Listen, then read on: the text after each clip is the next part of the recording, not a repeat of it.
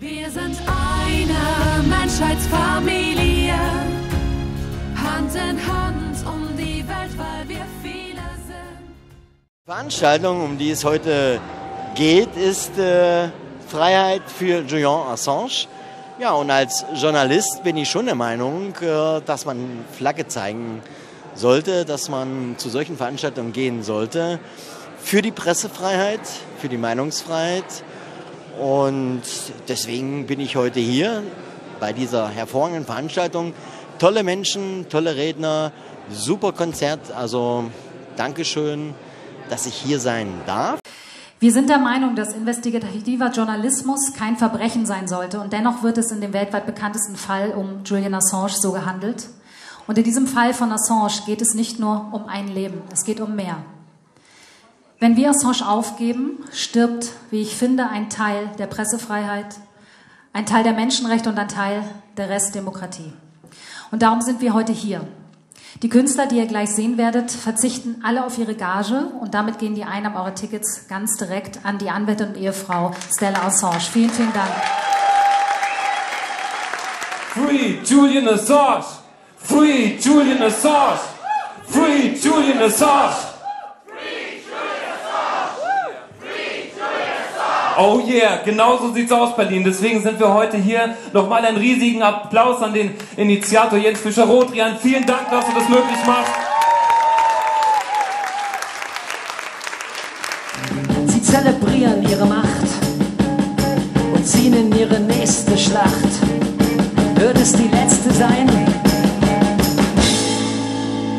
Es liegt an uns. Allein.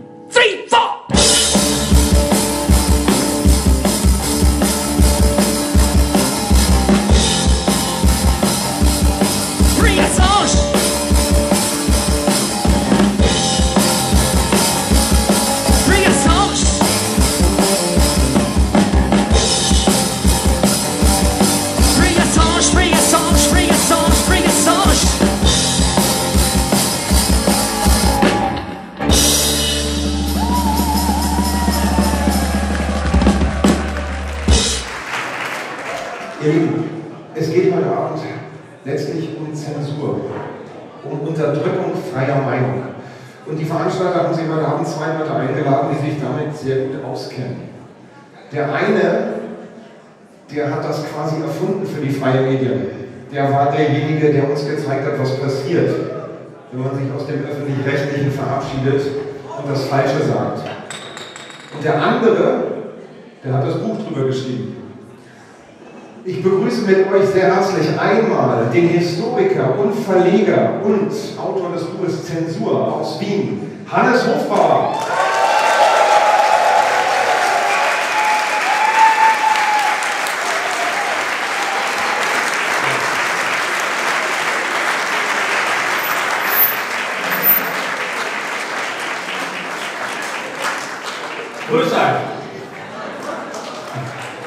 Und von dem anderen habt ihr eventuell schon einmal gehört. Begrüßt bitte mit mir sehr, sehr herzlich zurück in Berlin, Kai Heimann,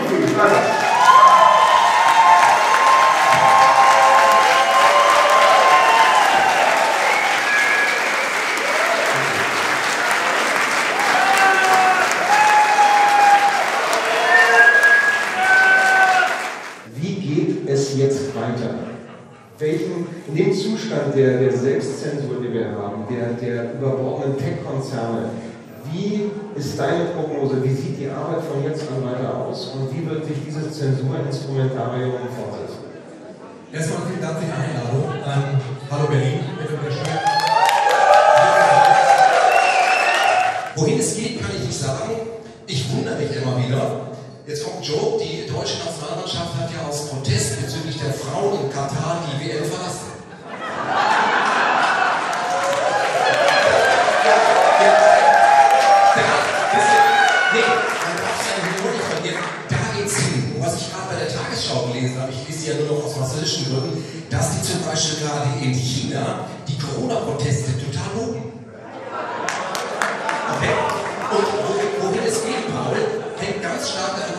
Unser einer noch öffentlich-rechtlich und klassische Bezahlmittel überhaupt noch guckt. Was solange wir das tun, wird sich nämlich gar nichts ändern. Wir wollen nicht mehr konkurrieren. Wir wollen miteinander kooperieren. Wir wollen gemeinsam erschaffen, um aus der Erde einen erdbaren Planeten zu machen. Denn wir sind nicht stolz auf die Massenvernichtungswaffen, die ganze Plastik, die wir in die Meere warfen. Den entscheidenden Beitrag zum Klimawandel werden wir ins Feige, das unsere Kinder zu hinterlassen. Wir sind kritische Denker, frei und entschlossen, die Welt zu verändern. Fordern ein Umdenken, andere Umstände für unsere Umwelt, die Tiere und Länder. Wir haben die Schnauze gestrichen voll, wollen nie mehr belogen werden. Wir sind das Volk, brauchen keinen Form und den haben wir nie gewollt. Und wir stehen hier in Frieden, das ist unsere. Schärfer, wie ist deine Prognose? Gibt es da Licht am Horizont oder eskaliert es immer weiter? Also die Militarisierung, die du angesprochen hast, wird vorbereitet. Also in Deutschland sowieso, in Österreich auch. Und die kann natürlich dann eingesetzt werden, wird eingesetzt werden gegen nichtsliebige Meinungen. Ja? Also was ist Zensur? Zensur ist eine Herrschaftstechnik zur Durchsetzung des eigenen Narrativs. Äh, und die gute Botschaft, aber auch mit Vorsicht zu genießen, ist, dass es meistens dort passiert, wo die Herrschaft schwächelt. Wenn man die Herrschaft stark im Sattel sitzt, dann hat es keine Zensur. Dann kann man offen diskutieren. Ja. Äh, aber wenn die Herrschaft schwächelt, dann muss sie eben kompensieren mit Verboten. Und, äh,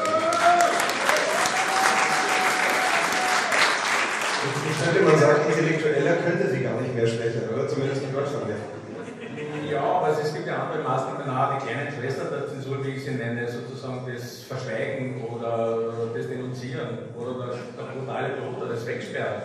Also von Julian Assange. Ich finde das unglaublich wichtig, dass wir uns weiterhin für Julian Assange einsetzen, weil er allein schon symbolisch für etwas steht. Ja. Julian Assange steht für die Pressefreiheit, aber auch für die Freiheit allgemein. Und wenn wir Julian Assange jetzt sozusagen in die Gefangenschaft gehen lassen und, und das Thema begraben, dann stirbt im Endeffekt die Pressefreiheit mit ihm mit. Julian Assange, das ist ein ganz großer ja, Symbolfall eben, weil er hat nichts getan, außer seinen Beruf ausgeübt. Er, hat, ja, er ist Journalist und hat im Endeffekt nur die Wahrheit berichtet. Das, was ein Journalist tun sollte. Er hat berichtet, was Fakt ist und er hat es belegt mit Videoaufnahmen. Und dafür wird er jetzt bestraft. Das ist ein Unding. Es ist unfassbar, diese Ungerechtigkeit. Und wenn wir das zulassen, dass das einfach so durchgeht, dann gut Nacht. Also, wofür wollen wir uns da noch einsetzen? So, das ist so wichtig, dass er freigelassen wird, dass einfach die Wahrheit ans Licht kommt und dass wieder Gerechtigkeit passiert. Weil das momentan, was wir hier haben, ist massive Ungerechtigkeit und eine extreme Doppelmoral, ähm, die von gewissen Leuten an den Tag gelegt wird. Und deswegen fand ich es unglaublich wichtig, jetzt seine Stimme zu erheben und sich für diesen mutigen Mann einzusetzen. Ich glaube, was wir brauchen, was Demokratie wirklich braucht, ist Dezentralisierung auf allen Gebieten.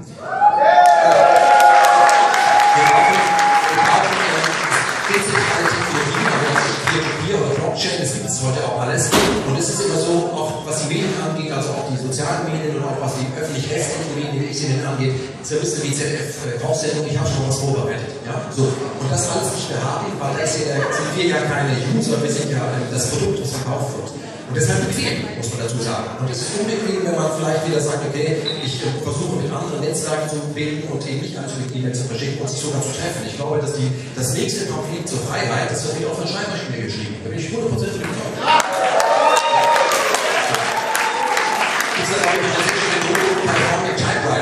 War mit Schreibmaschinen, finde ich total super. Also das mal machen und vor allem ähm, sich mit anderen treffen und äh, sich die Meinung von Leuten anhören und die einem total auch gegen den Strich geht. Weil ich finde, wir haben ja ähm, Demokratie dahingehend gar nicht richtig gelernt, dass wenn heute irgendjemand auftaucht, der zu irgendeinem Thema eine andere Meinung hat, dann sind die irritiert. Ich sag mal so, in einer Welt, in der jemand der Kriegsverbrechen aufklärt und das der ganzen Welt mitteilt, in einem Gefängnis sitzt, als Strafe dafür, in dieser Welt wollen und werden wir nicht leben. Ja? Und deswegen, da sind wir heute hier so bei diesem wundervollen Event und setzen ein Zeichen und äh, versuchen einfach das Bestmögliche auch an Spendengeldern da einfach mal rüber zu schicken, um diesen Kampf einfach für die Pressefreiheit ähm, zu gewinnen am Ende. Und wir werden diesen Kampf gewinnen. Deswegen, Leute da draußen, bleibt stabiler. Wir schaffen das ja. So, wir müssen erstmal ganz grundlegend hier ein paar Sachen klären. Warum sind wir hier? Ich sag Frieden, ihr sagt Freiheit. Frieden! Frieden! Ich sag Free, ihr sagt Julian. Free! Free! Absolut. Im Kleinen dagegen wäre es gut, aber wir müssen gesellschaftlich relevant werden. Das ist schon der. Also die gesellschaftliche Relevanz einer Gegenöffentlichkeit zur Öffentlichkeit zu werden und letztlich dann die Gesellschaft auch positiv zu verändern, darum geht es für mich und wahrscheinlich für alle. Ja. Das machen wir ja, das ist ja auch bitter, oder? Ganz ehrlich, wenn du zurückschaust auf die letzten Jahre, du hast was abbekommen. Das kann man wohl sagen, oder? Wir haben sie vor in die Fresse gehauen, aber egal. Also, nein, was ich, wer meine Biografie kennt, weiß, es ist keine gute Idee, zu mir zu kommen, willkürlich sagen, das darfst du jetzt nicht mehr machen. Nee, dann mache ich genau das. Und zwar, bis du aufhörst, das zu sagen.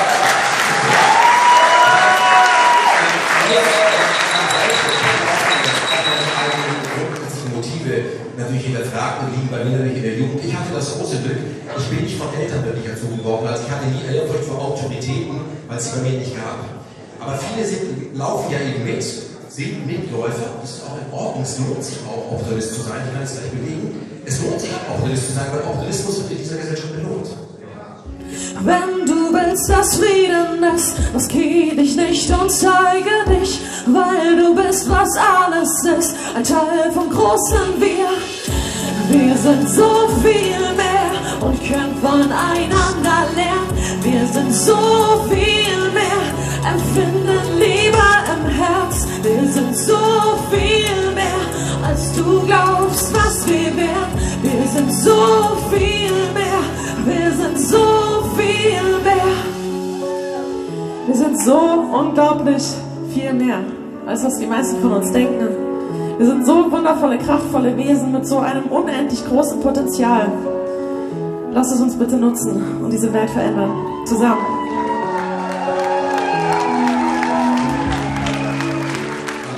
Und ich erinnere daran, es trifft ja nicht nur Journalisten, wer auf Journalisten einschlägt, das ist ja eigentlich äh, eine Ehrenschlag. Dann ist man relevant. Wenn man mitmischen darf, alles sagen darf, dann ist man PR, weiß es vielleicht gar nicht. In dem Moment, wo man auf die Fresse bekommt, sagt man irgendwas, was da oben irgendjemand stört, dann sollte man wirklich dranbleiben. Ja? So. Das, und deswegen investigativer Journalismus, Journalismus ist investigativ.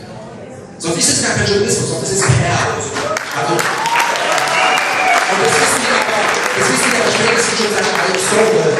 Hannes, du bist es, in deinem Buch hast es geschrieben. Das, was im da passiert, dass man über die Intellektuellen, die einseitig Begabten dann korrumpiert und wegsperrt und McCarthy-Ära neu auflegt, das ist ja alles sowas von unoriginell, so lahm, so plump. Und ich habe auch gefragt, warum so plump? Da haben die Üblichen gesagt, weil es so funktioniert. Weil es so funktioniert. Und das ist das, was mich bei der Sache stört. Ich habe auch keinen Bock mehr, ich bin, auch nicht der Gegend, ich, ich verschwende meine Zeit für die Pamphleten, gegen die zu sein, die sind zu unwichtig, sondern ich baue was Neues auf. Stell dir vor, das Paradies ist schon hier, weil wir es manifestieren und es beginnt in dir. Alle zusammen. Wir sind eine Menschheitsfamilie, Hand in Hand um die Welt, weil wir viele sind. Acht Milliarden Herzen mit Liebe drin. Wir sind eine Menschheitsfamilie. Wir sind eine Menschheitsfamilie. Hand in Hand um die Welt, weil wir Frieden bringen. Acht Milliarden Herzen mit Liebe drin. Ja, wir sind eine Menschheitsfamilie. Wenn du Julian Assange jetzt persönlich treffen könntest, was würdest du ihm, was würdest du ihm sagen? Was würdest du ihm mitgeben? Jetzt hier. Halt durch und vielen, vielen Dank. Vielen, vielen Dank, Julian. Sehr gut. Danke. Drohen, verfluchen und auf uns zielen, weichen wir keinen Schritt, wir haben keinen Grund mehr mitzuspielen. Wir kommen in Liebe und von mir aus sollen sie schießen. Geboren im Krieg, doch gegangen im Frieden.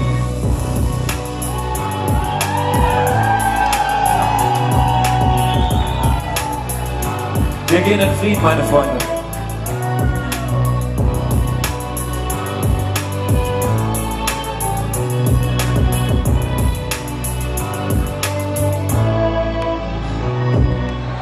Und jetzt stell dir mal vor, wir könnten irgendwie eine Leitung zu ihm herstellen und mit ihm sprechen und ihm irgendwie was ja, mitteilen und sagen. Was würdest du ihm jetzt sagen, wenn du die Möglichkeit hättest, mit ihm zu sprechen? Ich würde mich erstmal von ganzem Herzen bei ihm bedanken. Ähm, ich habe einen unglaublich großen Respekt und eine Demut vor diesem Mann. Was er durchsteht seit Jahren und durchstehen muss, das ist unfassbar, das können wir uns alle nicht vorstellen. Und dass er seine Stimme genutzt hat, um sie für uns zu erheben. Er hat das ja nicht irgendwie getan, damit er, keine Ahnung, jetzt irgendwie Kohle bekommt oder so, sondern er hat es gemacht, damit die Leute die Wahrheit erfahren. Und das ist ein ganz, ganz großer, mutiger Schritt, weil er gewusst hat, okay, was, was sind auch die Risiken, wenn er sowas veröffentlicht. Und da habe ich einfach einen enorm großen Respekt vor ihm und ich würde ihm sagen, einfach danke für deine Arbeit. Du hast extrem vielen Menschen damit geholfen und es tut mir unfassbar leid von ganzem Herzen, was du gerade durchmachen musst deswegen. Und dass ich, ja, zumindest mein Möglichstes tun werde, um meinen Beitrag zu leisten, dass er frei kommt. Sind von Liebe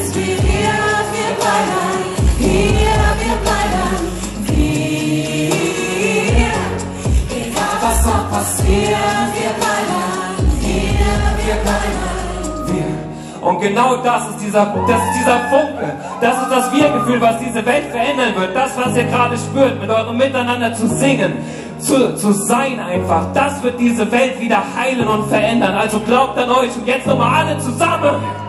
Wir sind von Liebe inspiriert, wir bleiben hier, wir bleiben was noch passiert, wir bleiben hier, wir bleiben wir. Sind von Liebe inspiriert, wir bleiben hier, wir bleiben wir. Egal was noch passiert, wir bleiben hier, wir bleiben hier. In diesem Sinne, all meine Liebe und Grüße gehen raus an Julian Assange. Wir sind hier für dich und wir, wir tun, was wir können. Okay? Für die Freiheit an ihn noch einen Applaus für Julian, diesen Held.